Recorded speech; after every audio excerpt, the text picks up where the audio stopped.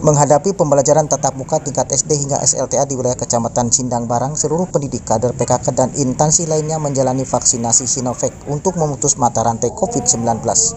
Menurut Kepala Puskesmas Sindang Barang, Wirno Susanto, saat ini sekitar 200 vaksin Sinovac telah disediakan. Namun pada pelaksanaan kali ini ada beberapa peserta terpaksa ditangguhkan sehubungan dengan riwayat penyakit dan tensi darah yang tinggi.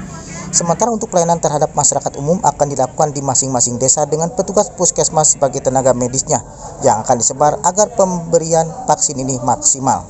Sasaran tahap pertama yaitu para guru, di mana nanti sekitar bulan Juni eh, diadakan tatap muka sehingga guru-guru harus sudah divaksin semua. Prioritas utama guru-guru eh, SD, SMP, SMA sehingga nanti di dalam proses belajar mengajar itu semuanya sudah divaksin.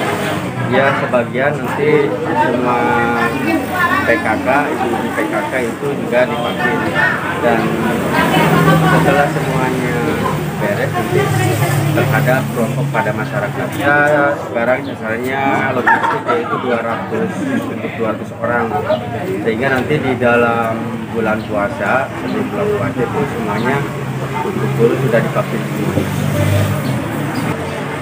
Vaksinnya sudah tersedia sebanyak 200 orang dan mungkin nanti tahap berikutnya terhadap masyarakat eh, ribuan untuk para guru misalnya tensi darah tinggi kita ditangguhkan dulu sehingga nanti normal baru kita